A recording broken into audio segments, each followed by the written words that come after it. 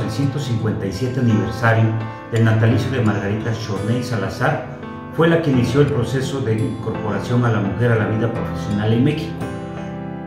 Fue la primera profesionista en América Latina, la, la cual significó una reivindicación eh, frente al género masculino y la sociedad mexicana.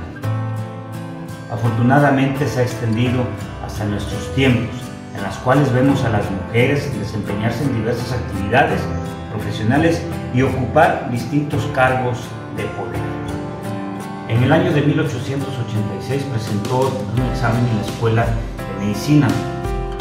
Antes de obtener el título de cirujano dentista, se interesó por aprender historia eh, de muchos aspectos, principalmente historia natural, música, física, química, matemáticas y otras disciplinas.